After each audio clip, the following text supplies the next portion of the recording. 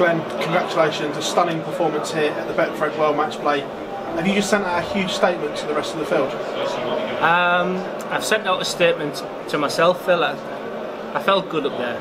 It's, um, you know, PDC Sky have done an amazing job with the whole theatre. The whole, honestly, it felt like I was playing in front of a PDC crowd. I know I'm playing well. I know I can finish as good as anybody. James Wade esque is what people are calling me right now. If I can improve my scoring, um, then then I can be a force to be reckoned with. I've got an unbelievable second game to come, but I sit here right now, Phil. I'm delighted. Nearly 107 average, all bar a few points.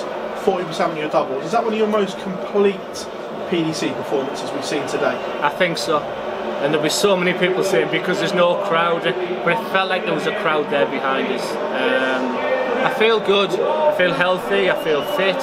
Uh, I'm playing well, and uh, that, that's a big, big win for me. You can just see by your whole demeanour and smile on your face, you're ecstatic about this. How far can you go? Um, if I'm not here to win it, then what's the point in playing? And I listened to all the sayings, uh, and I heard that one a few days ago. It'd be a sad day the day that I'm, you know, I'm playing darts just be, to be a, an also run. Um, I wish I could also say I'm here to win it right now, but I can't look ahead of Peter or Jose because that's going to be an unbelievable game. But um, it's warm. I love it warm. Hotter the better, you know, for me. And uh, I'll take some beating. Whoever beats me, if they beat me, we'll, you know, we'll, we'll take some doing it. I feel, I feel marvellous. Speaking of the Peter Jose game, that's going to be mad for Are you going to stick around to watch it to see when you play? No, no, I've got a pot noodle waiting for me now. I, I, am boring. I, I'm just going to go and lay on my bed now and probably put, you know, the, the dart on and, um, and, just do things that probably dart players don't do. I'm pretty like methodical in throw, methodical in what I do. But uh, the next hour's nice. You can answer your messages, speak to my wife, speak to Dennis. You know, all things like that. It's uh, it's all good. How do you see the game going between Peter and Jose? So I won't be surprised if Peter is the first seed to lose. Jose is that good, but Jose has not done it on the stage yet.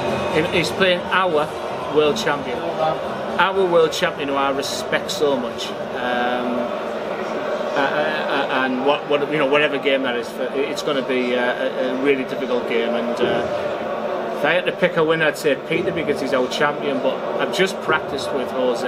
My God, I've played with the best. That guy does not realise how good he is, and the future is very bright for Jose de Sousa, Thank you very much. Just a couple from me, Ben, if that's alright.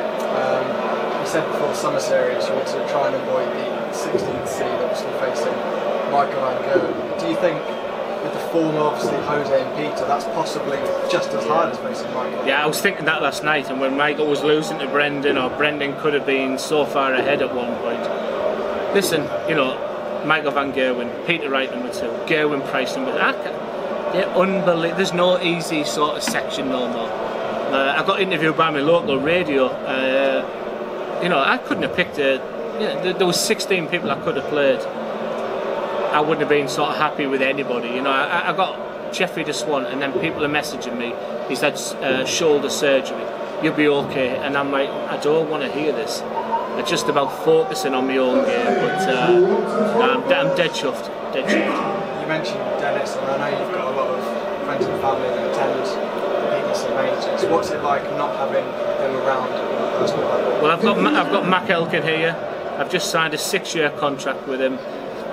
I don't need anybody else around me. You know, I mean, I'd love my wife to be here. I'd love, I'd love, you know, I'd love Dennis to be here. But you know, it's a new phase of my life, and it means you know, spending time with Mac and the team, you know, maybe that's a good thing for me. You know, there's sort of no pressure on me. I would love Susan to be here, uh, my wife. Um, but I've got the best manager in the world. Uh, I'm happy. I've signed a long-term contract.